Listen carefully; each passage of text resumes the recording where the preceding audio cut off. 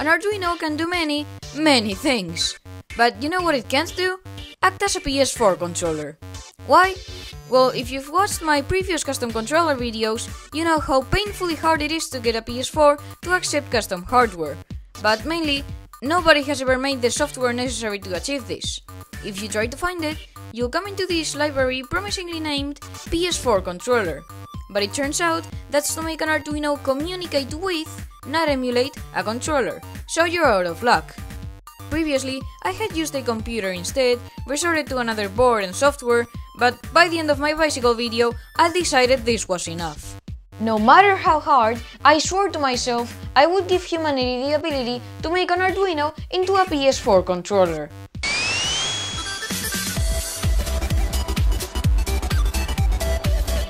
So if you happen to watch my bike controller video, which statistically you probably haven't, you'll know I already had a faint idea of how I could do this. Well, that idea was using a library I'd heard about, HID Project, which had a mode called RawHID, which allegedly allowed you to use custom descriptors and reports and whatnot. For the uninitiated, HID means Human Interface Device, i.e., a device humans interact with, i.e., controllers and stuff. And to communicate with a computer, HIDs use descriptors and reports. Descriptors, as their name suggests, describe the device and include stuff from the manufacturer to more technical stuff like the address of the endpoints used in communication. As for reports, they're the packets in which the data is actually sent between the host and the device. Both of these come in different types, and they generally look something like this. These are individual bytes. Or like this if you speak binary. I wish I couldn't make out any meaning from this. Oh man.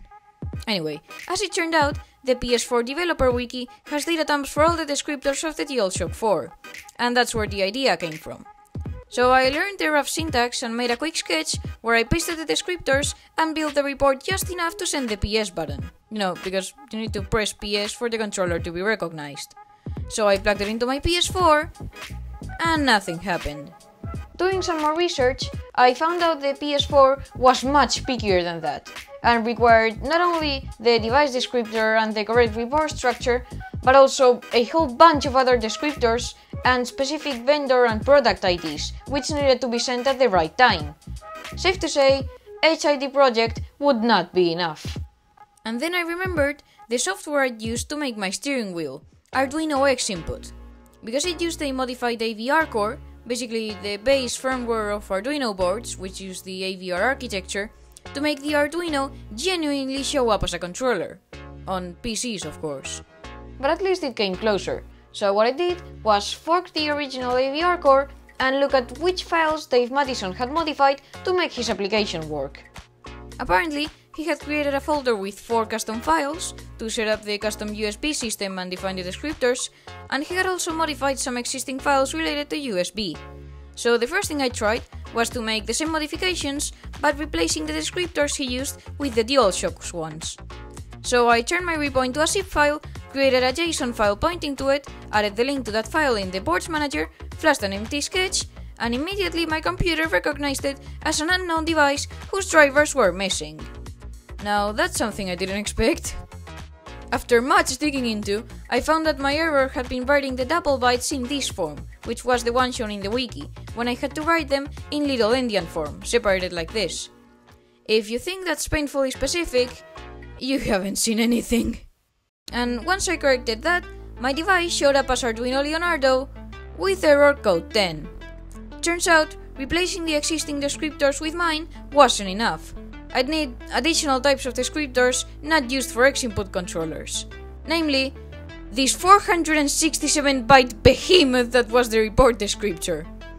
I added it to the custom descriptors file and had to implement my own logic to send it to the host whenever I get descriptor request with a W value high byte of hex22, so a request for the report descriptor was received. And this time, my Arduino was actually recognized as a controller. I made a similar sketch to the one before, to press the PS button by sending reports to the low-level USB functions of the core, plugged it into my PS4, and nothing happened. After further digging into, I found out the TX endpoint advertised by the DualShock's descriptor Basically, the number identifying which channel the controller used to send data was 4, while the default for the Arduino, which I hadn't modified, was 1. Once I changed it to 4, I was actually able to see the button being pressed on a web tester. However, it still didn't work on my PS4, and here's where I ran into a red herring, because the timestamp on the tester only updated when the button state updated, while it was continuous for my other controllers. On hindsight though, this was probably normal, and it only seemed continuous on actual controllers because of sensor noise causing constant changes. Whatever the case, I needed more debugging, and I found the incredibly powerful combination of Wireshark plus USB PCAP, which allowed me to see all the details about every packet of data being sent between my PC and my Arduino. And apparently, my board was responding to the host requests with malformed packets. Looking into these requests, I realized there were still a whole bunch of reports I had to be sending which Arduino X input didn't send. So I decided to look at GP2040CE as a reference. After all, they had a working PS4 mode, so in theory, I only had to do whatever they were doing. The source code for the PS4 driver was a bit bulky, but after a while, I found the part where these reports seemed to be handled. As it turned out, I hadn't set up responses to set report requests or get feature requests. Now, in a real controller, you'd respond to these with stuff like calibration data, the MAC address, etc. But you can also respond with dummy data, which is what GP2040CE did. So I copied the byte arrays they sent as response, added them to my descriptors file, and implemented a similar switch block to respond to each feature request report ID with the correct array. However, among these features, there were two which were used for authentication, and you'll know what I mean if you watch my bike video, and they were HexF1 and HexF2. Basically, Sony wanted to use their pricey controllers, so they periodically demand solutions to authentication challenges as part of the feature reports. And to solve these challenges, you need first, cryptographic keys they only put into official controllers, and second, probably a lot more computing power than the Arduino has. If you don't solve these challenges, your controller will be disconnected after 8 minutes. However, I had a plan, so I simply responded to these two with a stall. And after making sure I was handling everything I needed, I plugged it into my PS4, and nothing happened. Now, I spent days trying to debug this, with a 16 hour screen time evenly divided between Arduino, GitHub, and Wireshark, and a daily steps counter I could only achieve by going from my PC to my PS4 to plug in my Leonardo 100 times with different setups. I even managed to break it to the point of not even enumerating and sending garbage along the way due to small mistakes I was luckily able to spot in the end. So as a last resort, I decided to seek some help by rejoining the GP2040CE server, which I had left because it absolutely creeped me out. However, the invite link seemed to be down as it didn't work for any of my accounts. So, suspecting some kind of IP range ban like the one Wikipedia implemented for some VPNs, I switched to mobile data and it worked. And I was still in when I switched back to Wi Fi, so good enough. Anyway, when I asked for some help with my setup, all I got was. But read the source code! Read the source code! Oh yeah, the source code I totally haven't fully read like 7 times throughout the past 3 days. But then the next morning, I went to check if someone had actually decided to help, and the server had disappeared from my Discord. I tried to rejoin through the link, but it didn't work. But then I switched to my other account and it did.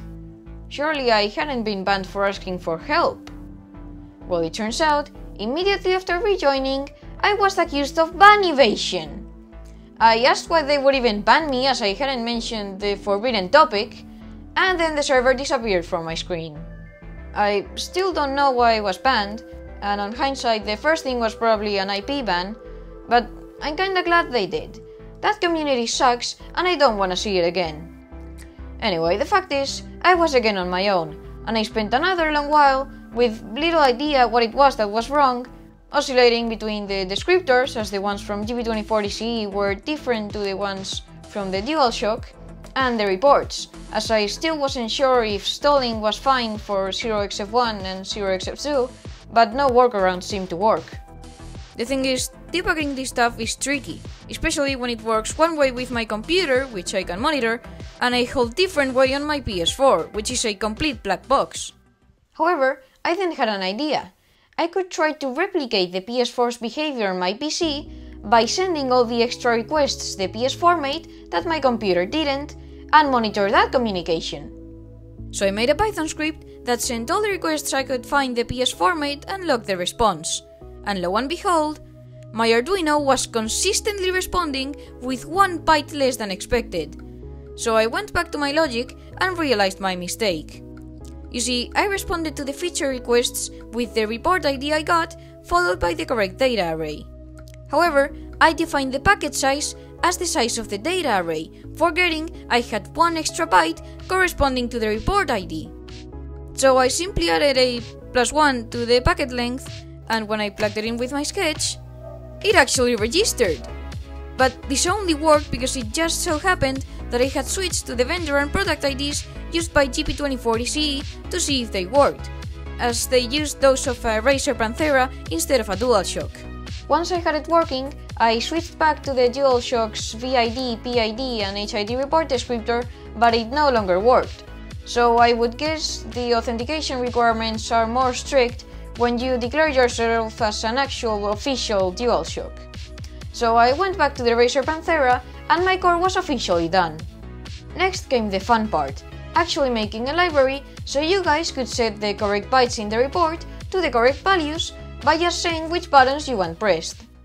So I created a new repo with the structure of a typical library, and first created the header file, which assigns button keywords to numbers I can use in my functions, introduces the functions available to the user, and then establishes the report structure and some functions internal to the library.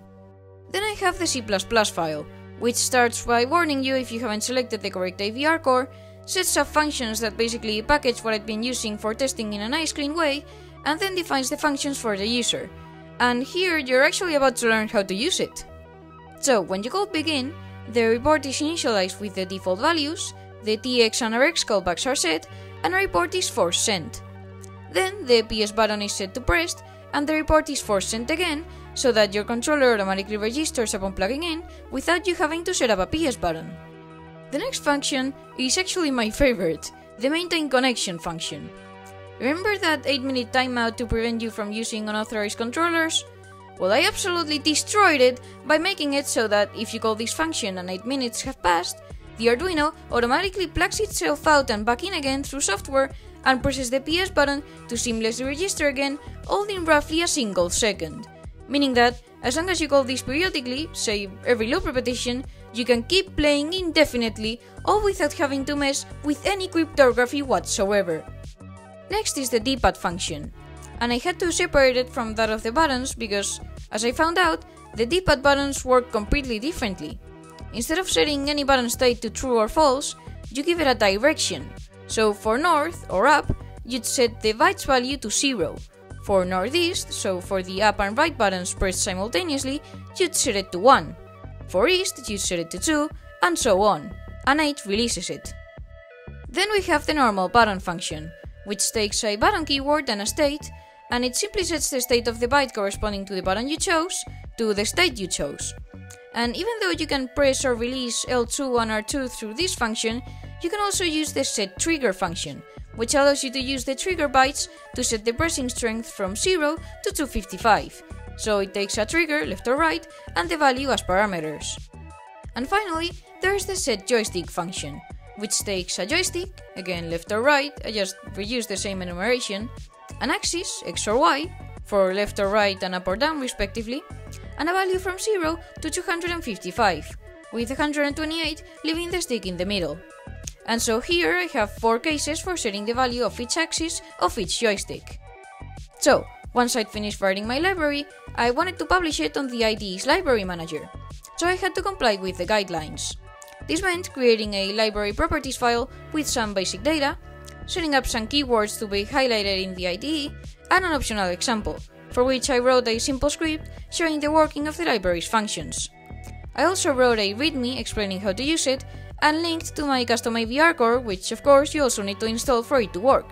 And I added a README there as well, explaining how to install the boards package. I then went to the library registry and added my repo right at the top, although now it's no longer at the top because some people have added new ones, so well. And the Arduino bot automatically checked it and told me it was invalid. Turned out, an external library couldn't start with Arduino, and I had called mine Arduino PS4, because someone had already taken PS4 controller. Like, I had read that rule, but for some reason didn't think much of it, even though it was literally my case. So anyway, I just changed it to PS4 Arduino, the bot approved it, and the next day, my library was in the library manager. So you can now install the library and put your HID cable Arduinos to good use by making any kind of custom controller, but now PS4 compatible. I can't wait to see what you guys make. I hope you enjoyed the video and I hope it helped someone somewhere avoid a bug. As always, please remember to like and subscribe to help the channel grow and I'll see you in the next one.